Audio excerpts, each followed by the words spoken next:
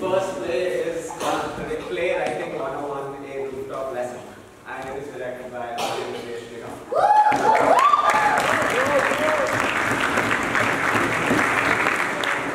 Yeah. Enjoy.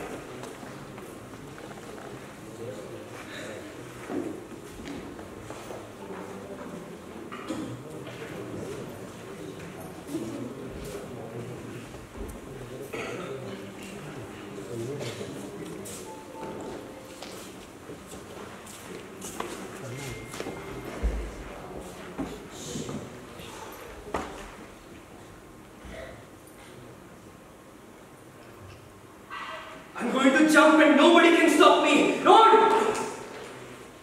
A typical dramatic scenario. Two characters in conflict, at least one indeed in a conflict, with high stakes, suspense, and an affordable cast size. How will this situation play out? That depends, of course, on the level of craft and creativity in the remarkable art form known as playwriting. So let's rewind this situation and see what happens. I'm going to jump and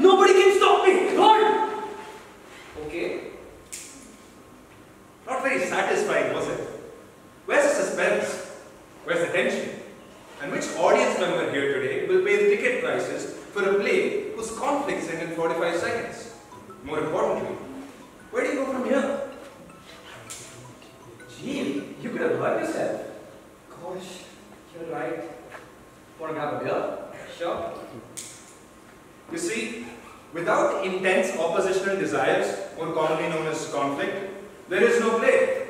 When Nora lives in a doll's house, nobody wants her husband to yell, call when you get work. So let's start the scene over. Maintaining conflict. I'm going to jump and nobody can stop me. Run! Fuck you.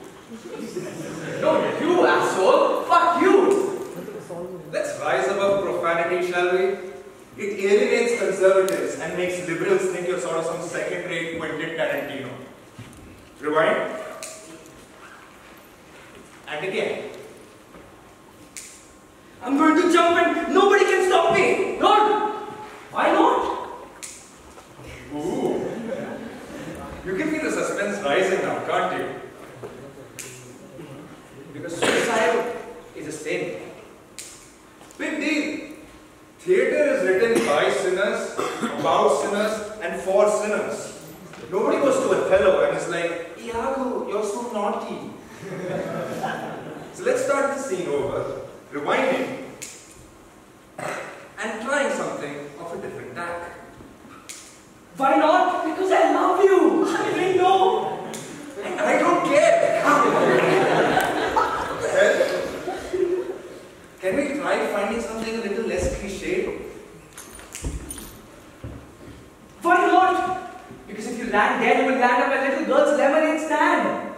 And my little girl.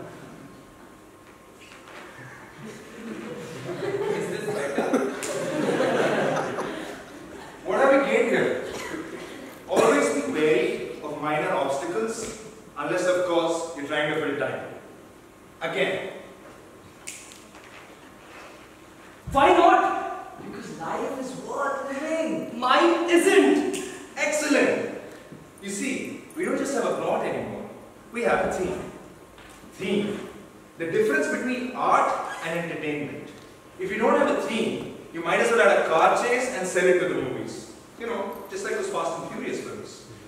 But when you have a theme, you have the opportunity to create something meaningful, something memorable, something college students can write term papers about.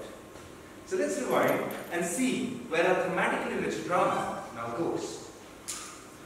Because life is worth living. Mine isn't. Gosh, tell me about it.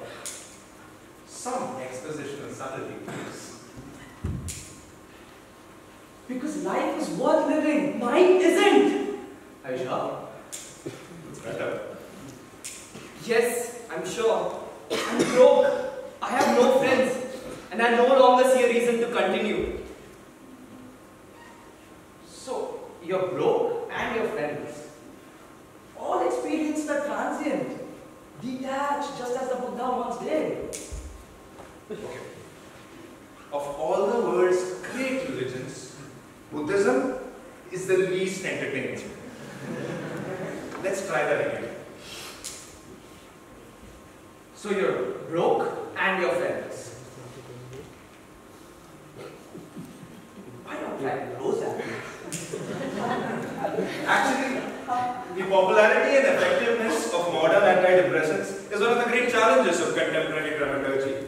We no more want Willy Loman to solve our problems with Prozac than we want Stanley and Stella Kowalski to get air conditioning. So how does a modern playwright resolve today's medicinal deus ex machinas? Let's find out. I tried Prozac once and it made my mouth really dry. That was not great, but we let that slide. Let me help you. It's too late. No, it's not. You don't understand. I haven't told you the worst. Fictional characters rarely are straightforward, are they? You see, until a few weeks ago, I was in love. True love. Deep love. I was involved with two of the most wonderful girls in the world. One of them was sexy, rich, generous, and caring. The other one, she was daring, streetwise, and even sexier. Between the two of them, I had the world. Well, then they both found out about me, and the both of them dumped me. Not just one, but both! Excellent playwriting. Here's a heartbreaking situation with which all of us can relate. Okay, maybe not the specifics, but in the universal experience of rejection. You had two exciting affairs. I only got laid once in the last year. A superb response. Another situation with which uh, we've all had friends who've had that. Uh, So what do you mean? That life can get worse?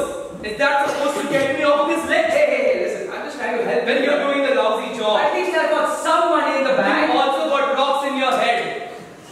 a common beginner's mistake. You see, two characters in hostile disagreement isn't conflict. It's just bickering. When two characters fight, it is of no use. Nobody goes to the theatre to hear petty and puerile antagonisms. That's why we have families. Let's hope this goes somewhere interesting or else uh, have to rewind.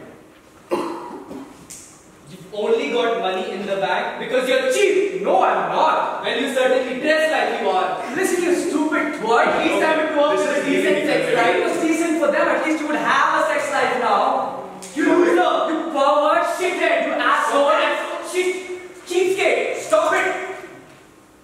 Notice that how the uh, that how the teacher's frustration has increased. What began as a very minor irritation has now become unbearable since the basic human desire to control was thwarted. What do you think you're doing? I want to trigger around here. The teacher's frustration has now changed to anger. Although the real life stakes are extremely minor here, but the character's emotional investment is intense. That's good play, I think. What do you think this is? Some parent never? Oh yeah, how did we feel? When we can't say more than two lines without being interrupted with your self-important self pronouncements? How would you feel if I did that to you? Okay, you have no dramatic, viable reason to inter. Damn it, put this head back in the play. No, and you can't make me. Aha, missed it. You superficial stereotype. You control me. You cliche. You bloody semi-intellectual. You contrivance. You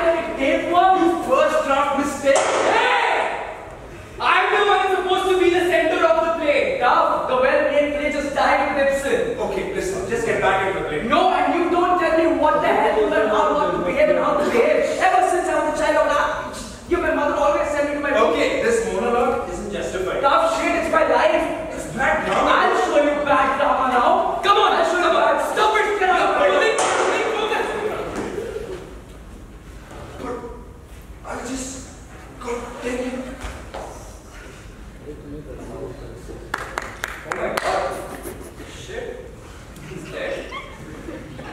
How. She's that good player, I or bad? I, I don't know. It just happened. Hmm. Gee, you would have hurt yourself, man.